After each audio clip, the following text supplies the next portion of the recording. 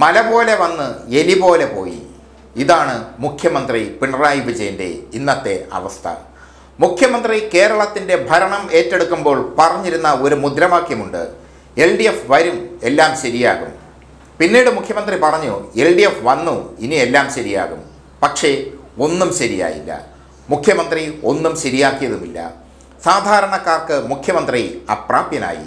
സാധാരണക്കാരായ പാർട്ടി അണികൾക്ക് പോലും മുഖ്യമന്ത്രി അപ്രാപ്യനായി. മുഖ്യമന്ത്രിയെ ചുറ്റിപ്പറ്റി ഉപദേശക വൃന്ദമുണ്ടായി. രമൺ ശ്രീവാസ്തവയെ അടക്കമുള്ള ഉപദേശക വൃന്ദങ്ങൾ ജോൺ ബ്രിട്ടാസ് അടക്കമുള്ള ഉപദേശക വൃന്ദങ്ങൾ എന്തിനും ഏതിനും ഉപദേശകർ. ഇതായിരുന്നു മുഖ്യമന്ത്രിയുടെ രീതി. പുറത്തിറങ്ങാൻ ഹൈടെക് സെക്യൂരിറ്റി നിരവധി സെക്യൂരിറ്റി കാറുകളുടെ അകമ്പടി.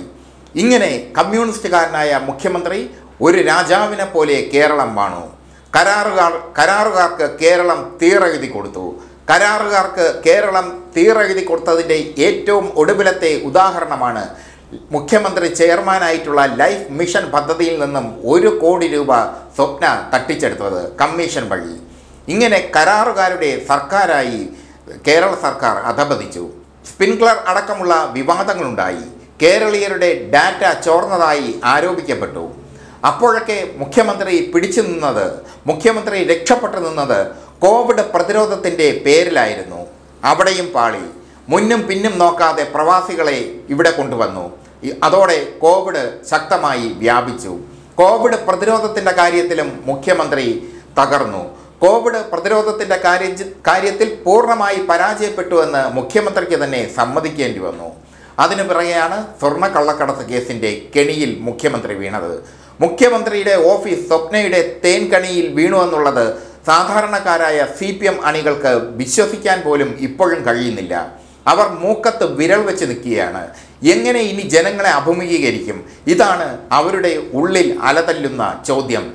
ജനങ്ങളെ അഭിമുഖീകരിക്കാൻ സി പി എം പ്രാദേശിക നേതാക്കൾ പാടുപെടുകയാണ്.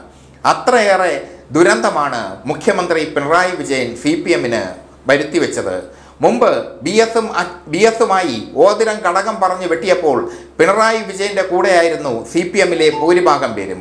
അതിന് ഒരു കാരണമുണ്ടായിരുന്നു. പാർട്ടി സെക്രട്ടറിയെ ബഹുമാനിക്കുക എന്ന കാരണം. അല്ലാതെ ബി എസിനെ തള്ളി പറഞ്ഞുകൊണ്ടല്ല അണികൾ പിണറായി വിജയന്റെ കൂടെ നിന്നത്. കേഡർ സ്വഭാവമുള്ള പാർട്ടിക്ക് പാർട്ടി സെക്രട്ടറി പറയുന്നതായിരുന്നു വേദവാക്യം. അങ്ങനെ പിണറായി വിജയന്റെ കൂടെ അണികൾ നിന്നു. പിണറായി മുഖ്യമന്ത്രിയായി. എൽ ഡി എഫ് വന്നു എല്ലാം ശരിയാക്കും. എന്ന് പറഞ്ഞുകൊണ്ട് മുഖ്യമന്ത്രി ഭരണം തുടങ്ങി. ഭരണം തുടങ്ങിയപ്പോൾ ആദ്യമേ പറഞ്ഞു സെക്രട്ടേറിയറ്റിലെ അവതാരങ്ങളെ ആരെയും ഞാൻ അടുപ്പിക്കില്ല.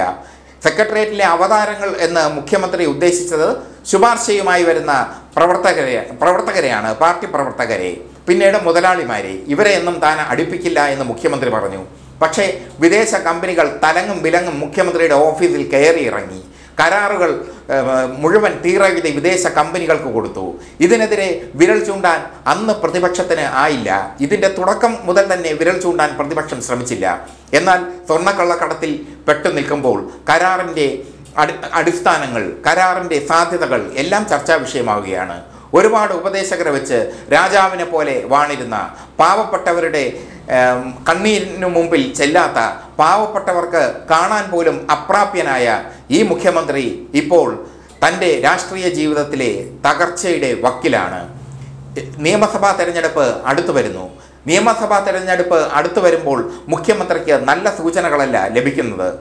മുഖ്യമന്ത്രിയുടെ ഏറ്റവും വിശ്വസ്തനായ മന്ത്രി കെ ടി ജലീൽ രാജിയുടെ വക്കിലാണ്. കെ ടി ജലീലിന് സ്വർണക്കള്ളക്കടത്തിൽ പങ്കുണ്ടോ എന്ന കാര്യമാണ് കസ്റ്റംസ് അന്വേഷിക്കുന്നത് എൻ ഐ എ അന്വേഷിക്കുന്നത് കസ്റ്റംസിന്റെയും എൻ ഐ യുടെയും ചോദ്യം ചെയ്യലിന്റെ മുനമ്പിലാണ് കെ ടി ജലീൽ. ഇതോടുകൂടി മുഖ്യമന്ത്രിയുടെ പിടിവള്ളികൾ ഓരോന്നോരോന്നായി വിട്ടുപോവുകയാണ്. താൻ നടത്തിയ കരാറുകൾ താൻ നടത്തിയ അഴിമതികൾ താൻ നടത്തിയ നിയമനങ്ങൾ എല്ലാം ചോദ്യശരങ്ങളായി മുഖ്യമന്ത്രിക്ക് നേരെ നിൽക്കുന്നു. ചുരുക്കത്തിൽ മല പോലെയായിരുന്നു മുഖ്യമന്ത്രി പിണറായി വിജയന്റെ വരവ്. എന്തൊരു വരവായിരുന്നു അത്? ഒന്നൊന്നര വരവ്. ഇരട്ടച്ചങ്കനെന്നും ഊരിപ്പിടിച്ച കത്തി കത്തിക്കും വാളിനും ഇടയിലൂടെ മുണ്ടുമടത്തി കുത്തി നടന്നുപോയവനെന്നും അണികൾ വിശേഷിപ്പിച്ച അണികൾ പടപ്പാട്ടെഴുതിയ അണികൾ ആരാധനയോടെ കൊണ്ടു നടന്ന അണികൾ കട്ടൗട്ടുകൾ വെച്ച് ആരാധിച്ച പിണറായി വിജയനാണ് ഇങ്ങനെ ഒരു ഗതി വന്നിരിക്കുന്നത്. ഈ ഗതിക്ക് കാരണമെന്ത്? മുഖ്യമന്ത്രി ഒന്ന് ആലോചിക്കണം. അപ്പോൾ കാണാൻ പറ്റും പാവപ്പെട്ട അണികളുടെ പരിദേവനം പാവപ്പെട്ട ജനങ്ങളുടെ സ്വപ്നം.